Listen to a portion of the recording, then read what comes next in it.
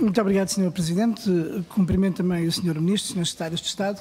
E as minhas questões têm a ver essencialmente com os recursos humanos, eh, que são absolutamente centrais para o bom desempenho das nossas missões diplomáticas e consulares. Eh, e julgo que é importante nós sabermos de onde vimos, aquilo que está em curso e para sabermos melhor para onde vamos. Designadamente porque, ao longo dos quatro anos do anterior governo, aquilo a que nós assistimos foi a uma como o número de funcionários, o valor das tabelas remuneratórias, os salários, uh, e assistimos também a um aumento daquilo que era penalizador para o funcionário.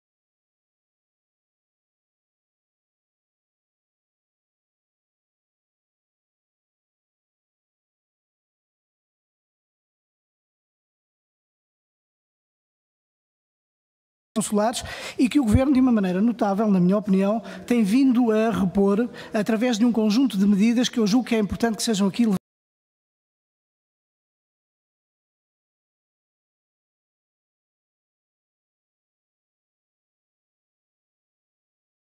do euro face às moedas locais.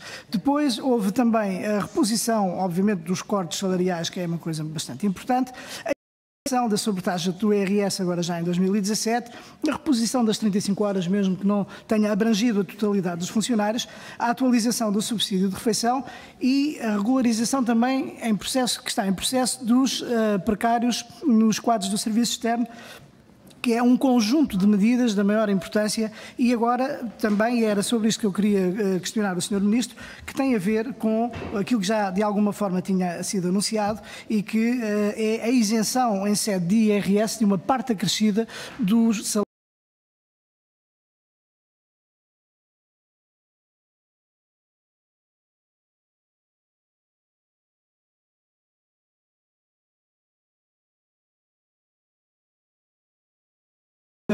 revolucionário porque é uma pretensão antiga, já com 20 anos, e com a qual o Governo agora uh, tomou a decisão de se debruçar sobre ela. E, portanto, uh, eu gostaria de perguntar ao Sr. Ministro quantos uh, funcionários são abrangidos, em que domínios e qual é a despesa que comporta para o Estado. A outra questão que gostaria de deixar ao Sr. Ministro, obviamente que, não obstante todos estes avanços, há questões que têm que progredir e que, como decorre até da própria aprovação do, do último Orçamento de Estado, e que tem a ver com os recursos uh, humanos para os quadros do Serviço Externo, e de, uh, dos, uh, dos, meios técnicos e informáticos uh, que são absolutamente fundamentais na medida em que é preciso ir mais longe e perguntava também ao Sr. Ministro qual é o calendário previsto para estas ações que o Governo anunciou a quando do Orçamento de Estado. A última questão que lhe quero colocar tem a ver com um, a candidatura do Dr. António Vitorino para a Organização Internacional das Migrações. a campanha é exigente porque implica mais de 160 países, vão em breve começar também as audições eh, para, eh, para, eh, para os candidatos e as eleições vão ser em junho. Eu termino já.